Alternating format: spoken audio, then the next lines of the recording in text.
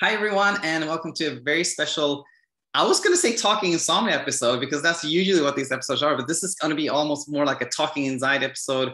But, uh, anyways, big, big welcome, Shaan. Thanks so much for being here. Thank you. Thanks for having me. And for the, I think a lot of the followers uh, of my YouTube channel know you already from your work, but for the 2% who don't, maybe, you know, do a little uh, intro. Who are you? Yeah. Yeah. My name is Shaan. Um, I I'm just a normal guy.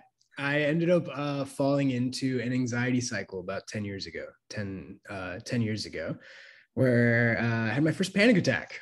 Never knew what that was. And uh, it scared me. In fact, it kind of devastated me. Um, after that first panic attack, I started getting multiple panic attacks. Then I started getting very bizarre physical symptoms and then I got these scary intrusive thoughts, and then I got feelings of disconnection, derealization, depersonalization, and my my life was spiraling out of control. I had no idea, and every time I went to doctors, they looked, they made sure there was nothing physically wrong. They said you were fine, and then um, I was like, well, what do I do? And they're like, you know, just have pills. And then um, I was like, okay, well, let me keep trying to figure out what's happening. And it was, I'd never had anything like that. I never like went somewhere and they told me we don't know what's wrong or you're fine. And i'm like no things are clearly not fine. Um, so sleep was a huge issue for me. Um, i don't think i slept more than like three hours for like a whole year at least. Um, it was uh, it was very difficult. I'd wake up with panic attacks specifically and it was always around the same time. Uh, it, was, it was around like four or five. I'm sure you you experienced that with um, other clients and stuff. And so um, then I tried going into like, you know, the therapy route and it was a lot of childhood trauma stuff, which didn't really apply to me. I was a little bit confused by all of it. Went to naturopaths, chiropractors. They told me I had leaky gut, I had candida, try this supplement instead. And so I went this whole route, just trying to understand what was happening and how to get out.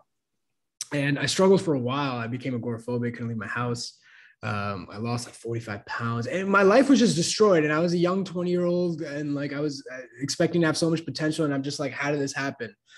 And so then I started understanding what was happening. There was a couple of books I read. A lot of it was just me kind of figuring it out on my own. So I made a lot of mistakes and I was able to come out of it. And then I was like, I'm going to forget about this. I'm going to pretend this never happened. I'm just going to go back to living. And uh, I was working, you know, I worked at Apple. I worked at, um, I, I was working in healthcare tech and uh, i was just like you know i think there's a lot of people struggling with this. And uh, I, I just feel like the system isn't really built for problems like these. And so maybe i can go out of my way and see what i can do to help. And especially since i got out i felt like i felt like there's almost like a responsibility. If you're able to get out that if other people are struggling i don't think it's a good idea to look the other way and just be like i'm fine keep living. And so i felt like there was a little bit of a moral responsibility there. And so here i am. And now i have a mentorship where i'm guiding people through uh, through the same thing and getting them back to living and forgetting about me and what their problems are and moving on. So love it. I mean, you you kind of encapsulate everything we're going to talk about in this super nice bio there. So so glad um, to have you here. It's going to be so valuable for our audience. And so I think uh, as we talked about a little bit before, uh, I, I really want to talk about a little bit more about your journey, what really helped you, and then also talk about like how you transitioned to become a. Do you call yourself a coach? I would say, yeah, I'm a coach, mentor. It's it's weird. I, I yeah, yeah, yeah. A teacher, or something like that. Yeah, we'll teacher, healer, you, you know. Yeah, um, absolutely. Yeah, yeah, yeah, yeah. Um, very well. Well, so first question to you is like, you know, you're 20 something year old. You have your first panic attack. Did did you did you sort of struggle a little bit with anxiety here and there, or it was sort of out of the blue? To me, it was out of the blue. I think I experienced anxiety, but it was never a problem right like i understood like sometimes i would like you know in in in college i was like in a hip-hop dance company and so i knew i'd feel anxiety before i would like go out and perform. And so it made sense. The problem that happened was is that i had a panic attack from sitting during my lunch break and doing nothing. Right it was like okay if i would have had i never had a panic attack but if i had a panic attack in a stressful situation that would have made sense. But i didn't really struggle but you know this came out of the blue so it was very easy. And and looking back, I think it was also like I almost didn't want it to be anxiety. So I almost wanted it to be something physically wrong. Because then if it was anxiety, I took it as like a character flaw. Oh, there's something wrong, you know, my care. and I was I look back at my life and I would think I was, you know, I think I had moments of anxiety, but I think they were healthy and I don't think they ever got in the way. But then this thing that hit me, I think it was a buildup of a few stresses looking back small stressors too. It's not like monumental thing. They were just small stressors, perfect storm. And it's my body was like, hey, I need to release all this adrenaline. And it totally caught me off guard. And I just wasn't expecting it. And uh, so I would say personally for me, I I didn't identify with struggling with anxiety. And I think that helped me psychologically come out of it too. Because I think if I wasn't identified with being an anxious person, and I think sometimes when people have that identity, they want to hold on to it. And so they don't want to move forward with letting this go and, you know, fixing the problem because it's part of their identity. So I don't think I had that. And I think looking back, that was probably a benefit. Totally. Absolutely here. So there was, you know, in hindsight, you can see there were maybe these small stressors, but, you know, at the point it seemed like kind of a panic attack out of the blue. And uh, like, how, how long was it? I, am sure you remember it quite clearly. My first panic attack, how long yeah. was it? God, uh, it must have been like a few minutes. It must have been like, and I remember I was in Montreal at the time, and I remember when I got my first panic attack, I got up, I got up out of my seat, and I was like, I don't know what to get, and like in my mind, I was like, oh, I have low blood sugar level or something, and so like I had some pomegranate in the fridge, so I was like eating pomegranate, and it wasn't working, and so I, I went outside. I was like, I need air because I didn't even feel like I could breathe. So I went outside, and I think it was like negative twenty degrees, negative thirty. degrees. I didn't have a jacket. I was just like, and it must have lasted like I, I honestly, it, it, must have been just a few minutes, like maybe five ten minutes, but it felt like an hour. Absolutely. And it was just, it was just like this rush. And I felt like after that, everything changed. I felt weird after that. Like it wasn't like the panic attack started and ended, which is what I thought. Afterwards, I felt weird. I knew it. I was like, something is like different. And I don't know what it is, but it's different. And so I tried ignoring it. I was like, whatever, but in my mind, I always knew I'm like, you know, I could never run away from this. This could happen anywhere. What if this happens in the car? What happens if this happens in the subway? What happens if this is a place I can't escape? So I knew that in my mind, but I was trying to push it to the side. Absolutely. Then I had my next panic attack. Naturally, when you get when you get one, yes, yes, and then that's when I spiraled. That's when I was like, okay, I need to figure this out. Something's wrong. And uh, that, yeah, that was really where I spiraled. But I would say was, was, was the second one fairly close in time to the first one, or I think it was honestly maybe like a week away, maybe five days to a week away. And uh, it happened at night. I was again, same thing. I was I was watching TV uh, with my girlfriend at the time, and we just made dinner. And I was watching TV, and I was eating, and I was like, I don't feel right again. And I'm like, what is that feeling? And that's where I just that's that's right. My next and, and then I had multiple panic attacks, multiple, multiple, multiple, multiple, and then I got like a bunch, and then um, yeah and then then everything changed. That's when i really started feeling symptoms. And i had these a lot of intrusive thoughts. Why is this happening? Was it because i ate something? Was it because like i did this? And i had the i had the craziest theories in my mind. It's so silly if i was to tell you like some of the silliest things i thought i had when i was struggling with anxiety like when i was like experiencing yeah. and i didn't want to accept that it was anxiety. I was like this is too physical. You know what i mean? This is too physical. And then it started affecting my sleep I couldn't sleep. And I would I would be really tired from all the anxiety that I was experiencing. So it was easy for me to fall asleep, but I couldn't stay asleep. I would wake up and I would have to like get out. I, I felt like I had to get out of bed. And so um yeah, and it was just it, it just kind of spiraled out of control. I lost a lot of weight too. A bunch. Yeah. And but just just because you mentioned it, like the audience is gonna be like, what was so what was the crazy theory if you can mention one? Oh my god! Uh, you know, I thought this is so silly. So like I, because I got my panic attack the night after hanging out with a few friends, and I got brisket. Um, I don't know why I did, but I I literally thought I may have mad cow disease because I was like, because I looked it up and I was like, what is? And like, you're kind of like, like, I ate brisket. This is happening. I was like, and I was in Canada, and like, I mean, nothing wrong with, but I just, I was in a foreign country, and I was like, what did I do? This was, I can't believe this happened. And I started researching what prions are and like all these silly things, and yeah, there was, a, and then you know, as I was struggling, I also believed a lot of other things. I thought I had candida, I thought I had leaky gut, and I felt like I had to fix the holes in my gut, and like. uh uh, silly things looking back. You know, I thought maybe I had Lyme disease. I thought I had some sort of um, autoimmune condition um, that was keeping this alive. Uh, I thought, I mean, I thought almost anything and everything. Like it was. Yeah. Oh my goodness. And I think, you know, I will just say this for, uh, for everybody just tuning in here that uh, I, I don't want to spend too much time on time on like kind of you going down the rabbit hole because anyone can go to your channel Shaan and, and, and learn more about that or even uh, here we, we, we talk a lot about how like you try medication that doesn't work and you get yeah. you know you try everything and the more you try the worse it gets right so, mm-hmm. so i want to really dig into kind of your understanding now kind of your hindsight things and and there was i want to start with the specific one which was you said that at some level i didn't want it to be anxiety mm-hmm. can you can you expand on that why do you think that was because i there, there was a lot of misconceptions i had about anxiety which was ironic because I was like a psychology major at my university. And like, you know, I'd read about mental health, mental illness as a form of statistic, but I didn't really understand it. You know what I mean? And so I experienced anxiety and I just wasn't sure why I was experiencing it. I just didn't know why it was happening. And so part of me was I wanted this to be see if it was anxiety in my head, it was like, well, maybe you're just somebody with like a anxiety disorder. And if you have an anxiety disorder there's no cure for that. And so i didn't want that to be that because then it was like well this is who i am. And i felt like i was a victim to it rather than i was causing it. And i always had the psychological thing well if it's an anxiety disorder you're causing it.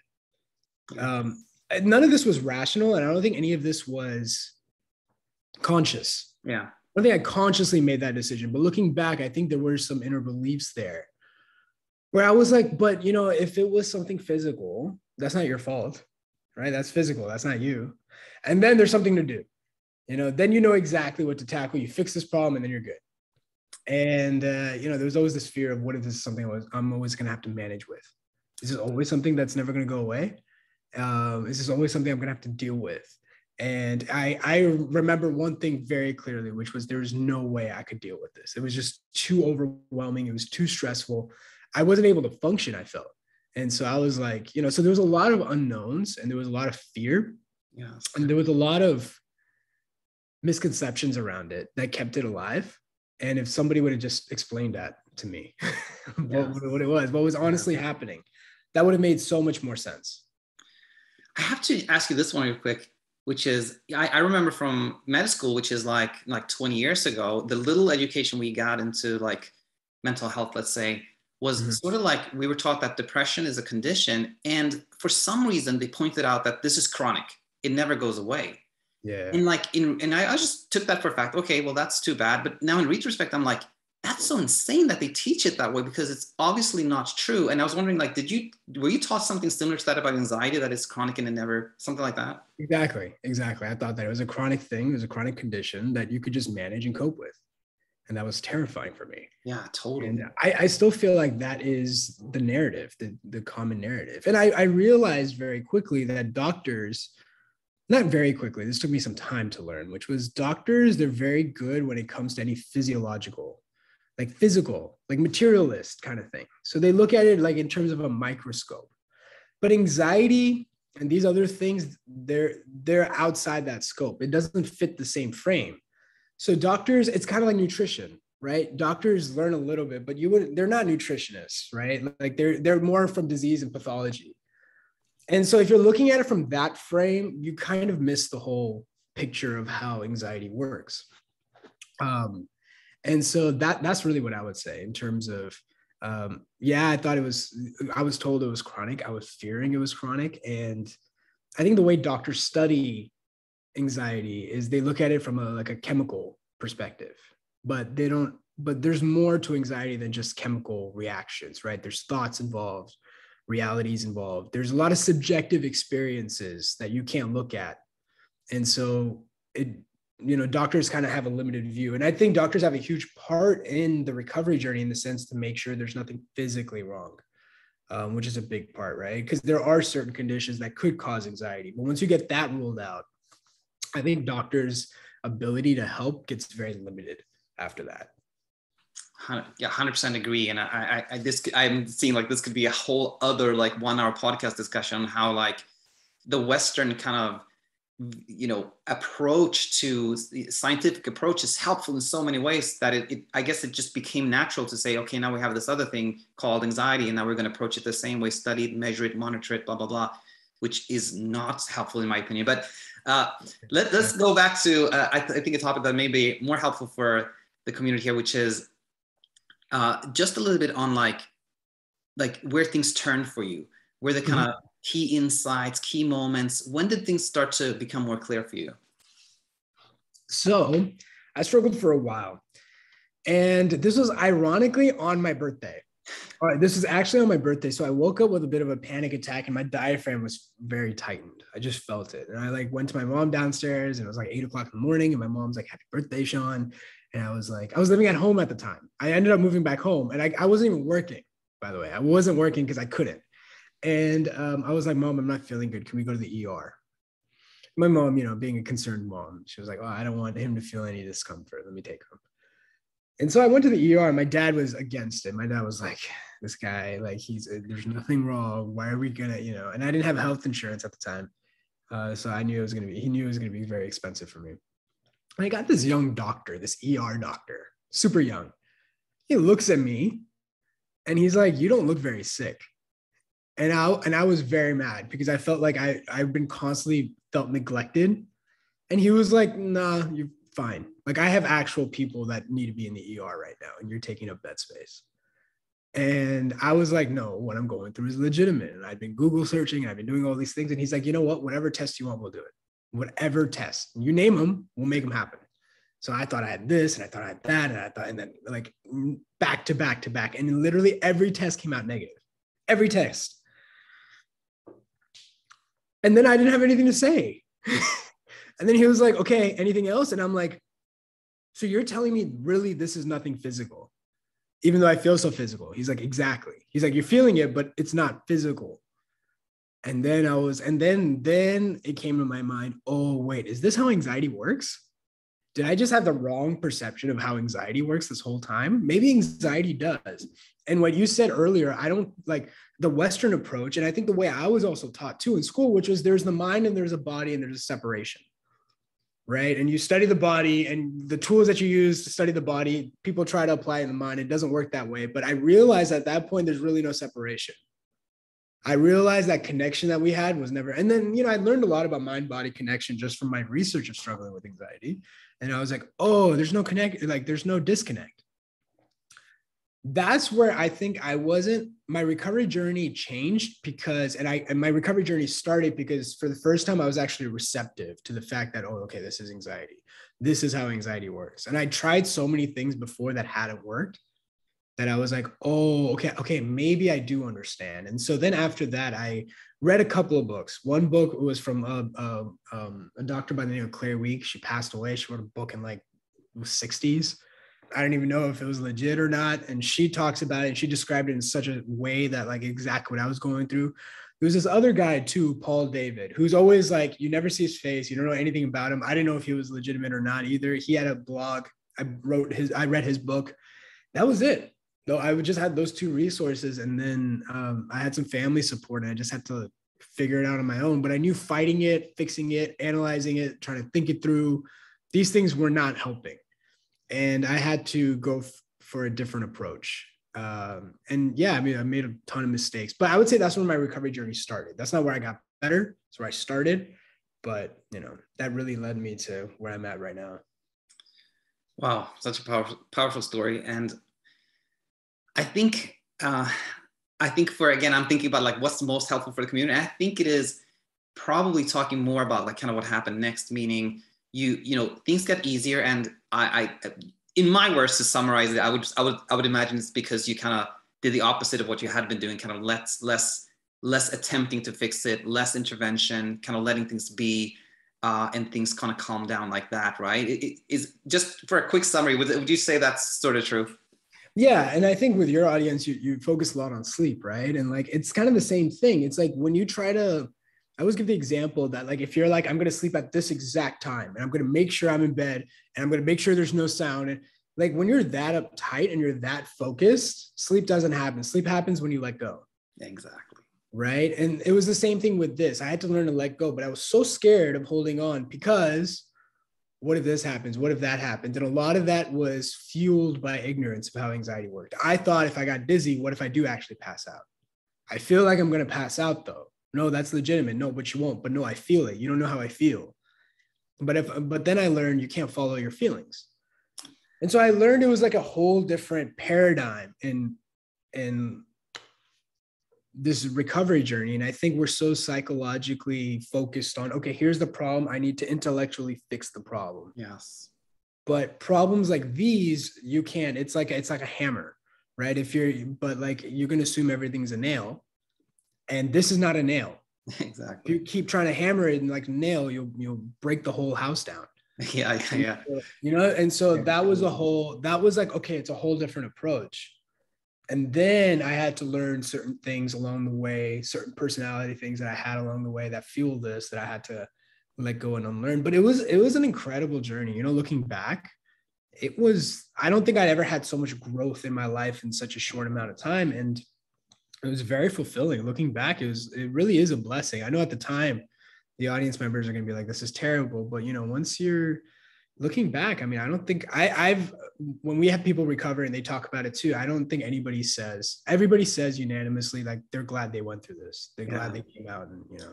I we we have the exact same thing within that sort of like insomnia community, like mm-hmm. exact same thing, the same learning. And people say like insomnia was a gift to me. And then I know exactly like somebody who's hearing this for the like new to the channel will be like want to slap me, but exactly what we hear all the time and and I, I had this question for you, but you've already answered it, which was, you know, when you when you um, read Claire Weekes, mm-hmm. you know, she has this amazing understanding of anxiety. But what's what's kind of shocked me with her teaching is that she still goes to say like, but make sure you sleep eight hours or something like that. It's like she doesn't yeah. really have that understanding, right?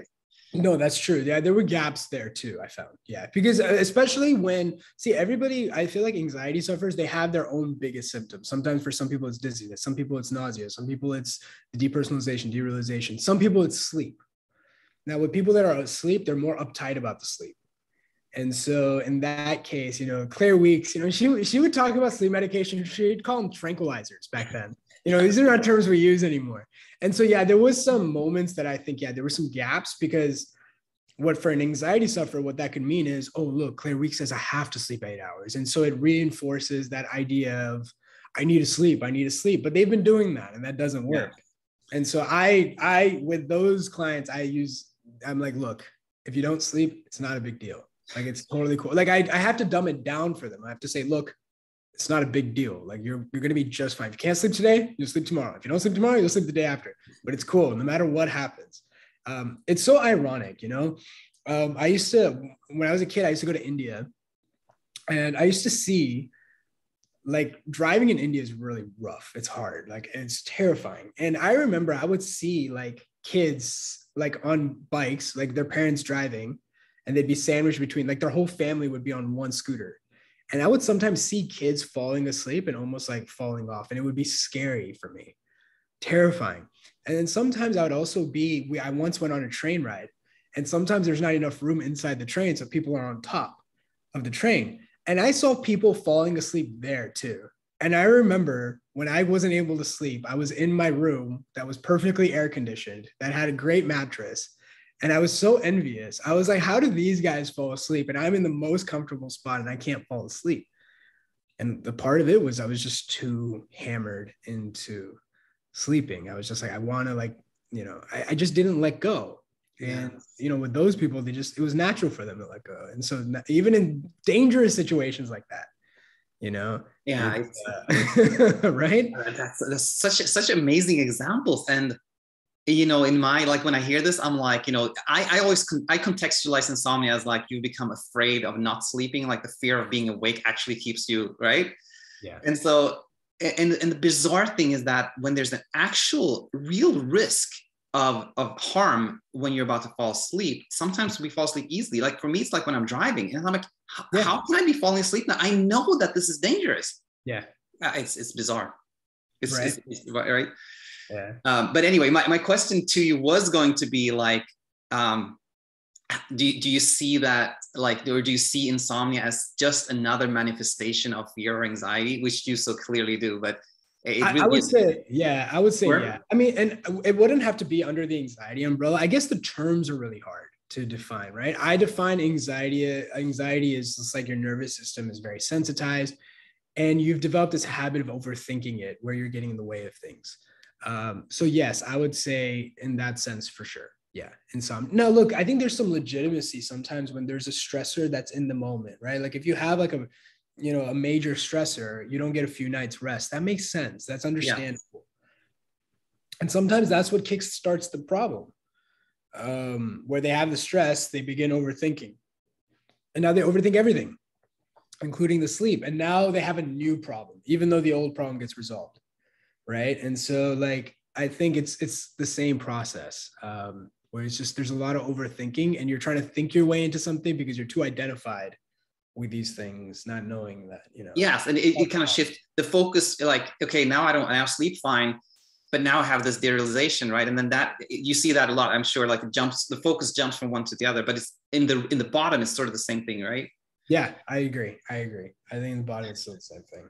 Yeah. And you already answered like i was going to ask you that like you kind of like what is your framework? How would you explain anxiety? And i, I think is it i mean you, you call your or actually let's just pause there. Let me pause there and just go towards what i want to go which was um this I, I it sounds to me like this idea of like maybe helping other people who who are in this in this hole was always there but what made you kind of transition and how what was that transition like to becoming like a, a mentor or a coach or a teacher um, you know, once I came out of this, I learned even before I started doing this that I did want to improve quality of life. Because I was looking at it, I was like, you know, what can I do to improve quality of life? And so I actually originally went into okay, what are some of the biggest things that I think are going to be in the future that is going to be part of my generation? And I felt like technology was a big part. And so I really wanted to leverage technology. And so I worked at some really great companies. I learned a lot. I learned a lot from them. Um, and then I said, you know what? I want to focus on health because I learned I learned from going through this that if if you don't have a foundation of health, everything crumbles. Everything crumbles around you. And so then I went the medical route, and uh, that wasn't uh, that wasn't fulfilling to me personally because just because there, there was a lot of things there was a lot of discussions that had nothing to do with the patient it had to do with regulatory things you know liabilities and governance and all these things that wasn't the best. And and I also felt like in terms of technology, which is where I was at, it's uh, in in healthcare, it's just a Frankenstein. It's just with all these things with HIPAA and everything, you just stifle. It, it's just it's so weird. It's so bizarre, and it makes no sense. Um, and then I was in Italy with my family because I'd worked really hard on this major project, and I finally had a vacation, and I was in Italy and maybe this was kind of serendipitous, but I wasn't able to sleep that night. And I normally can sleep really well. I can sleep really well. And I wasn't I wasn't able to not sleep because I was like scared of it. I was honestly thinking, I'm like, what do I want to do? And I think I just turned 30. And I was like, look, man, like, you know, if you want to make a risk, you should do it now. And so I was like, well, what do I want to do? And I said, you know what? Ideally, if I could do anything, it would actually be this. And then I said, okay, well, how would you do that? Because do you want to go to, you know, do you want to be a therapist? And the answer was no. So then I was like, you know, I could leverage the internet. I could, you know, because there's a lot of things that have changed. Instead of trying to be a generalist, why don't I focus on one specific problem? One, be really good at that. And then the world is there, right? I don't have to work with somebody in Austin. I could work with somebody in Australia. Like, you know, I could have a chat with somebody from, you know, Oregon or wherever. And like, I can help anybody and I can really focus on not just doing sessions to make them like per session, but I want to see results. If I'm going to be spending time with people, I better be getting some results. And so I was like, you know, why don't I work with people an extended period of time? I don't need a lot of people, just need a good amount. Let me show them. And I literally came back from Italy. And that day I tried to work a little bit and then put in my two week notice. I gave him my two week notice like the first two hours I was there.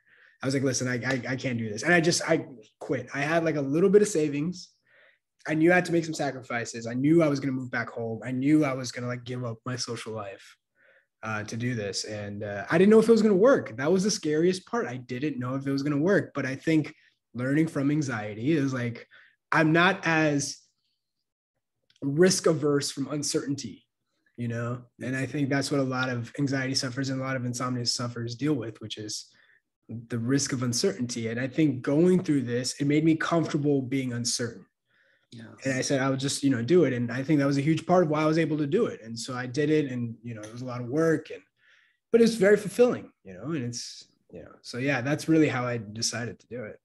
That's amazing. And I, just quickly want to sneak in this one, which I, I, wanted to bring up when we were talking, which was that, you know, there's so much happening right now in technology with like with crypto, which we talked briefly about, and there's so much changes that are amazing. And and as a culture, I think we we really look up to people like you know Steve Jobs and like you know Bill mm-hmm. Gates and like people who made a real big difference in those in those areas. Which I mean, nothing wrong with that. But ultimately, like it doesn't matter how wealthy we become or how how how kind of how much we amass things as a as a as a as a planet if we don't have peace of mind we can't enjoy it right so feels like this work is really important isn't it I, I, definitely agree yeah if you don't have that peace of mind none of this you know this this builds you know i always say like greater connectivity doesn't mean greater connection not just with other people but also like your own peace and well-being and I think one of the things, you know, we mentioned Claire Weekes. What I really, why I, I look at it and I was like, why was I able to resonate with her? Why was it that she told me the same thing that a lot of the doctors did, but I really stuck with this? And it was relatability. And there was a humanity in the way she talked to you. And I feel like sometimes in healthcare and even in technology, people try to use that as a substitute for the humanity you know? And and people ask me you know like what was your morality to do this? I was like there's no morality. It was my humanity. I went through this. It was suffering for me. I know it's just as real for somebody else. And so i look at it as you know technology is really powerful and but it needs to be leveraged correctly. And it could do just as much harm right? Because i think a lot of the biggest issues that i deal with is technology's allowed me to connect with people all over the world and help them but technology's also created a lot of misinformation around that i have to like stifle through and like you know break through. And so it's like a double-edged sword. And so um you know in that sense I, I think like using technology i think in an ethical way where it improves quality of life and it doesn't substitute certain things. It just is there to enhance things.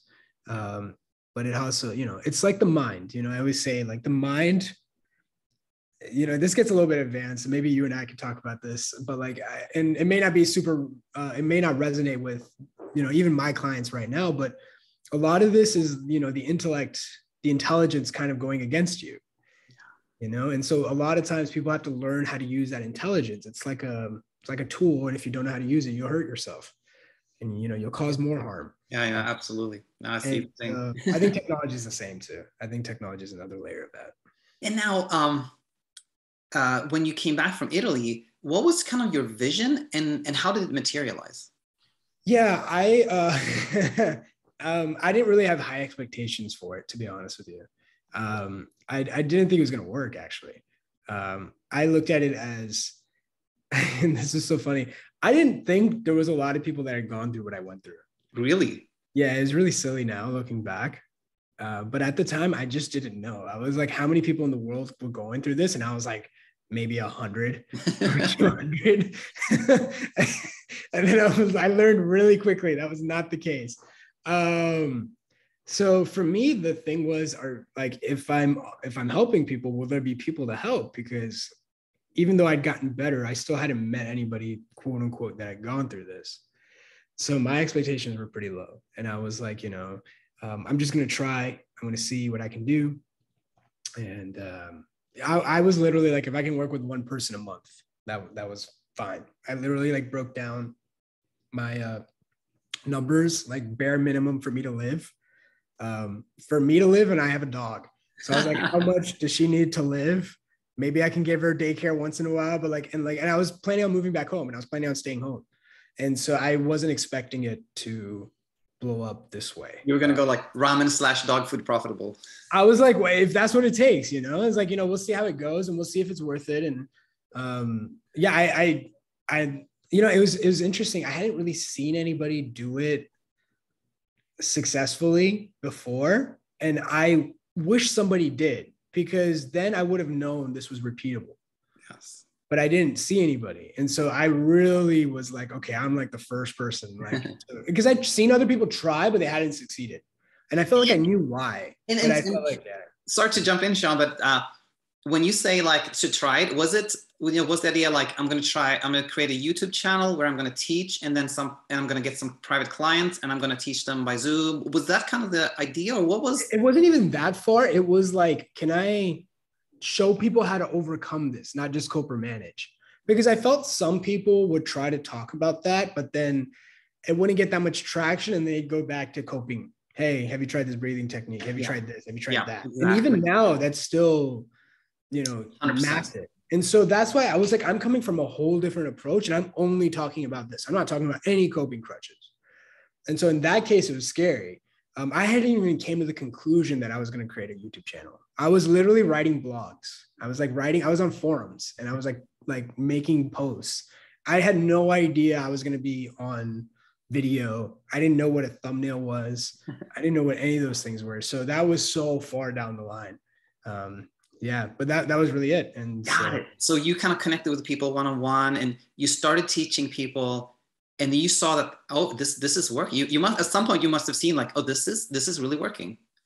Yeah yeah no definitely definitely. It was really good and it was also for me at the time to test trial too because i wanted to make sure i really did believe this was the way um, but the more i've done it the more solid my foundation has become on it because sometimes i was like but what if it only worked for you and not somebody else and so I would be working with people one on one.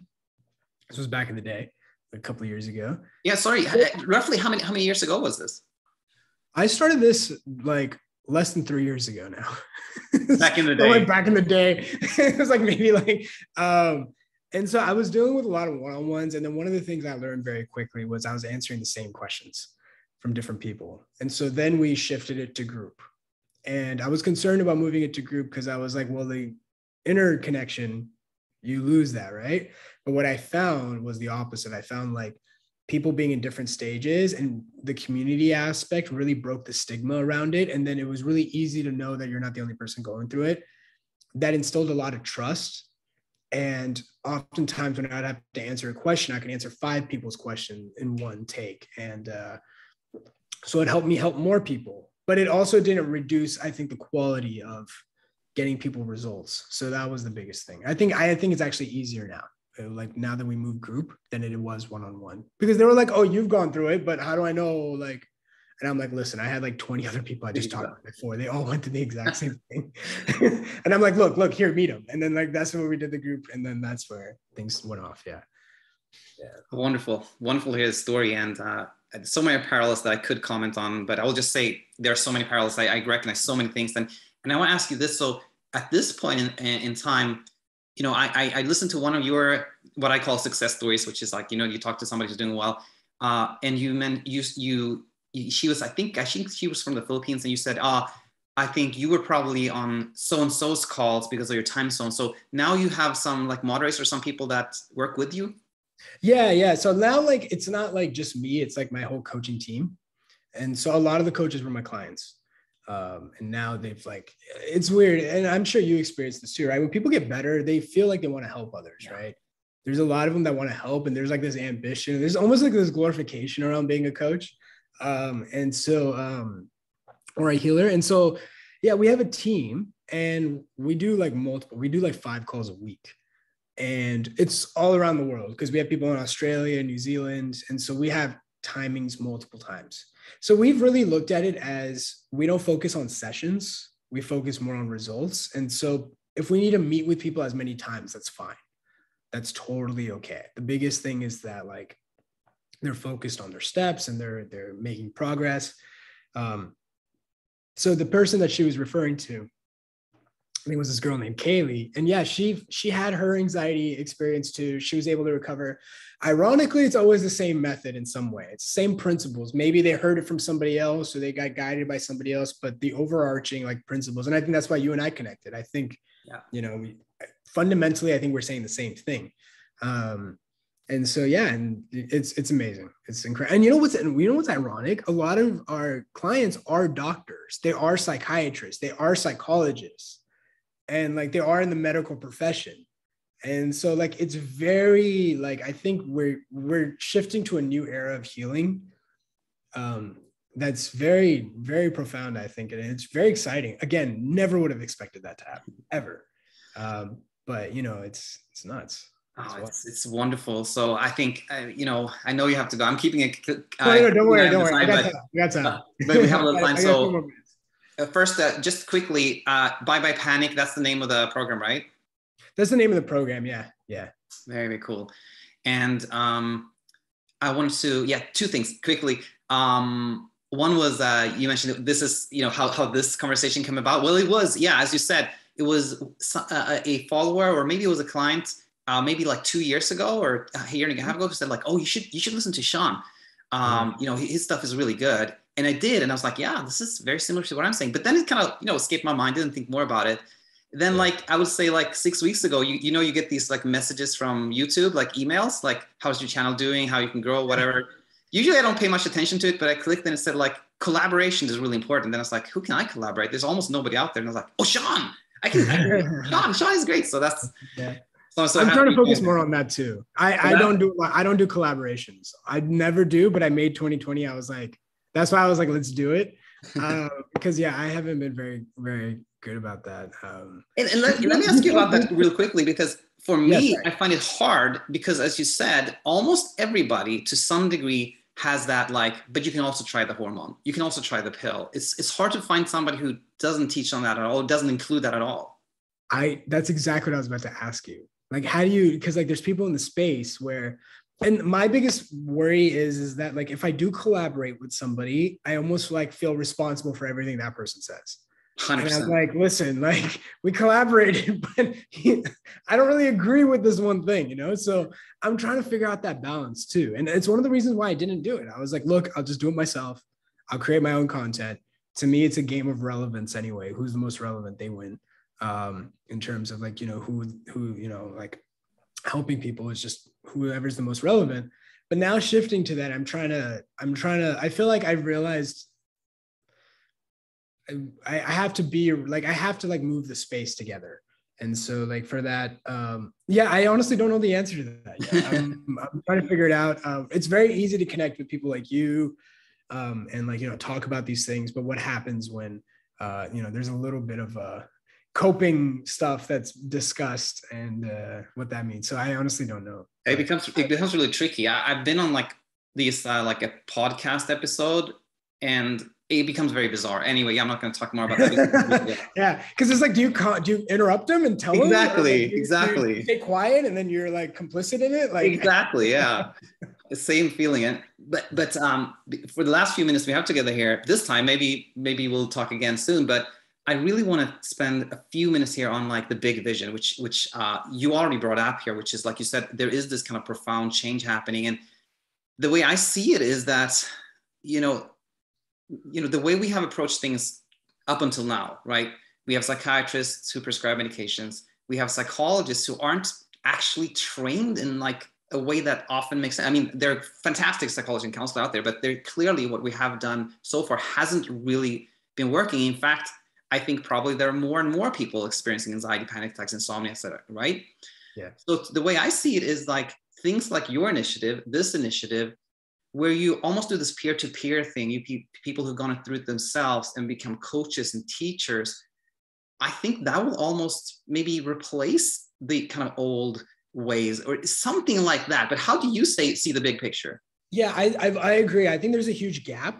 There's always been a huge gap, and what we're trying to do is fill that gap now. Like, and what we, uh, what I think about is like providing a 360 solution for the person going through it. Um, there's its own challenges there, though. Um, like, you know, um, one of the things is, yeah, I do see this space growing more um, and really filling that need because that's exactly what I would have needed. If I just had this space that would have explained this, that's, you know, I think with healthcare, it's so fragmented so subspecialized that something as holistic as this it just it just doesn't fit in as a puzzle. So i see this space growing. I don't see it overtaking um i don't see it overtaking it. I think what it would do um was i feel like it would take off some of the burden from a lot of the doctors that you know, actually have patients that are actually dealing with medical issues. Um and um, it, it, becomes complementary to those things. Um, the biggest fear for me though is, you know, like in a certain de- degree, like, you know, in this space, it is almost like the Wild West too, right? Like intentions are great, but execution is a problem too. What happens if somebody is optimistic, but may not be as competent? And, you know, in healthcare, you know, they have different things to protect from that. Um, and like the barrier of entry of this is pretty low. And so I'm curious about that. How I try to look at it is like this is silly, but I would just be like, let's just dominate it. Like so you know, and like let's just dominate it, let's just help. And uh but yeah, I I, I see the space growing.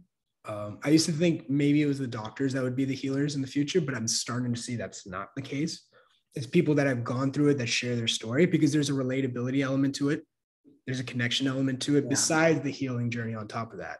Um, so I just see it with that's how I see it. And I think this could have been done without the internet. So like this is yeah. still a phenomenon that like happened because of the connectivity that we have.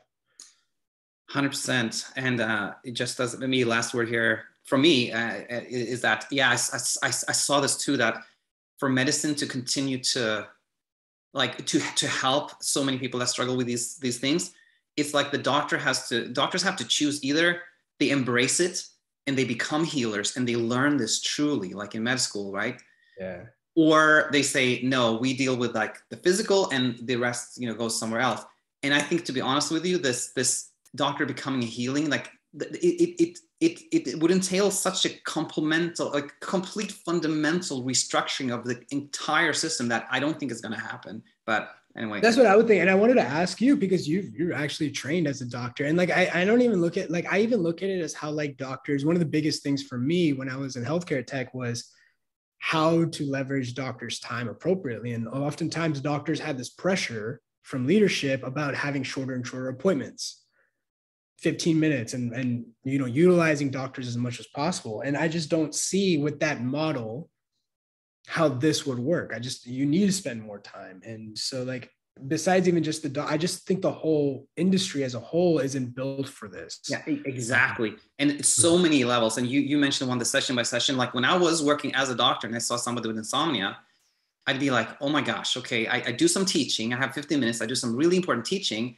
and then I'm like, see you in two weeks because that's the short. And that and that was pretty fast, right? Two weeks is pretty fast for a doctor. Like bye bye, and there's nothing. They're like completely on their own that just doesn't work. It doesn't work. yeah. Yeah, I agree. I agree. so I mean, there's so much more to talk about. I, I think uh, we'll have to finish up here, but I just want to say uh, it's been amazing. Super nice connecting with you, and um, and uh, hope to hope to be in touch soon. Yeah, man. Thanks for reaching out. I uh, I'm glad you did, and uh, I'm glad we were able to connect, man. And uh, yeah, definitely again, I'll bring you my channel. It'd be dope. Do that. okay. Bye now, Shaan. See you guys.